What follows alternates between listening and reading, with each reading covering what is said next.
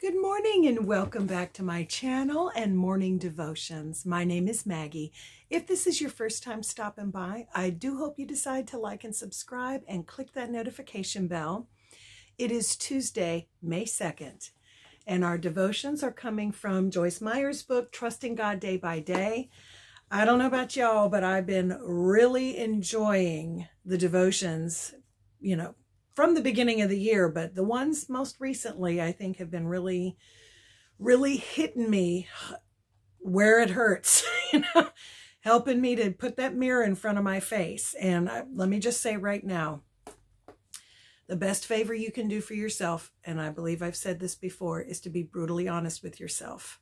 Let the Holy Spirit reveal to you what he needs to reveal to you in order for you to have a breakthrough most of the time when we're stuck and we don't have breakthrough and we know we need something to change, it's because there are things about us we don't want to admit to. Okay? All right, just saying, let the Holy Spirit move. Move in your heart and stir and search your heart. Pray it every morning. Search my heart, O God. Find the things that aren't of you. Purge them from me and create in me a clean heart. Literally every morning. Okay, so our devotion today is entitled A Well Balanced Mind Stays Positive. Thank you, Lord. Our scripture comes from the book of Second Timothy, chapter 1, verse 7. For God did not give us a spirit of fear or timidity, of cowardice, of craven or cringing and fawning fear this is out of the Amplified Bible. So God did not give us a spirit of timidity, of cowardice, of craven and cringing and fawning fear, but he has given us a spirit of power and of love and of calm and well-balanced mind and discipline and self-control. I like how the Amplified kind of breaks that down a little bit more. Okay? Power, love, and a sound mind is what usual traditional um, translations read. This one gives us, he has given us a spirit of power and of love and of calm and well-balanced mind and discipline and self-control. That's what God gives us. Fear is a lie from the devil, and it's a tool in his arsenal that he successfully uses to steal from us. Think about it. Fear always drives us in the opposite direction of where the Spirit of God wants us to go. I haven't even gotten into this yet, but this is what God has revealed to me about fear, because fear has been a huge generational stronghold in my family. Fear failure. Uh, there's natural fears, being up high and falling, and that's that comes from your self life preservation and things. You know, when there's danger and your life is threatened, yes, you're going to feel those things. But the fear the enemy uses to cripple you is when there's imagined things that are not there. I think someone broke it down one time. Fear is false evidence appearing real. F E A R, false evidence appearing real. Those are things we have to keep in mind and ask for the Lord's strength. He gives us a sound mind, a well balanced, not cowardice, not any of those things, because the word talks about cowards having their place in the pit of hell. Okay? Cowardice is not from the Lord. All right? Okay, all right, let's get into this because I'm going to go off on my soapbox. All right. You can't control what happens to you, but you can determine to go through it with the right attitude. In fact, you can choose beforehand that you will keep a positive attitude in the midst of every negative situation that presents itself to you. Before it even happens, you can determine you're going to have the right mindset. And that is a prayer that you can pray every single day, even when you feel there's the beginnings of a trial happening you can say, Lord, I need you to walk with me through this. I need to have your mind, your mind set. I need to see with the eyes you would show me to see and help me to walk through this with the right attitude and heart. Okay. Yeah, I lost my place. Okay. Uh, okay. In fact, you can choose beforehand that you will, I'll just reread. You can choose beforehand that you will keep a positive attitude in the midst of every negative situation that presents itself to you. If you make this decision and meditate on it during a good time in your life, then when difficulty arises, you will already be prepared to maintain a good attitude. Throughout history, we have examples of people who have maintained good attitudes in the face of difficult times and thereby turned their problems into opportunities.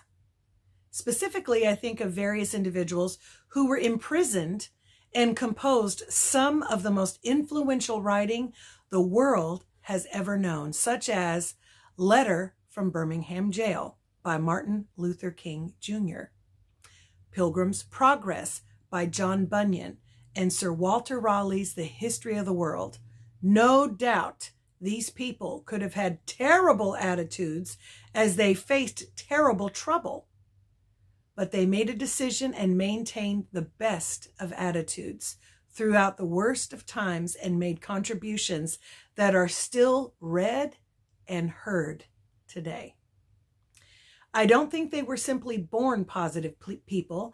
I think they had to make a definitive choice. And their choice not only benefited themselves, but in the process blessed the world. One of the worst mistakes we can make in our thinking is to believe we are just not like those positive people and we can't help it. That's a lie from the pit. It's a lie. If you think you can't do anything about your thinking and attitude, then you're defeated before you've even begun to try. Discipline yourself to stand strong with your positive attitude in every circumstance. And see, the discipline, there's the fruit of the spirit that we all self control, you know, love, joy, peace, you know, long suffering, all those things the godly qualities of raising up a child in the way that they should go. And in the way that they should go is with bearing the fruit of the Spirit, the fruit of the Spirit, trusting God. Look at how the generations have dwindled since God was kicked out of the school system.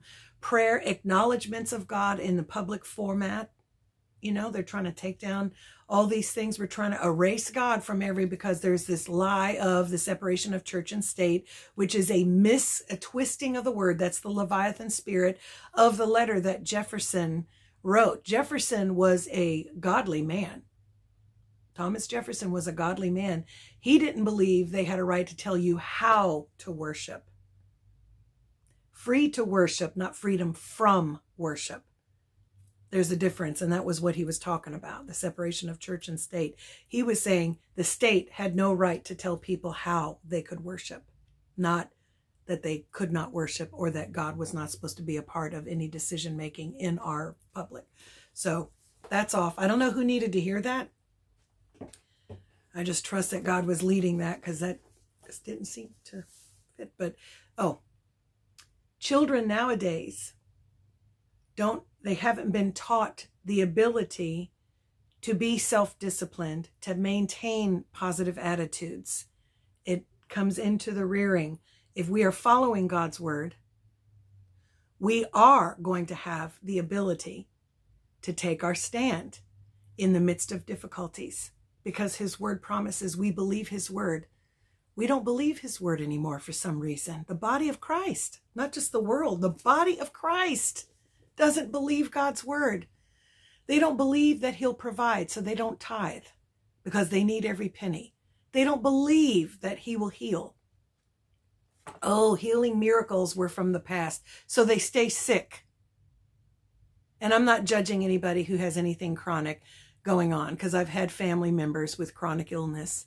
I don't know why things happen, but we just aren't believing God at all. I trust him with the release and the timing of each of those blessings. But it's like, Lord, help your people, help your bride to embrace your word in its fullness.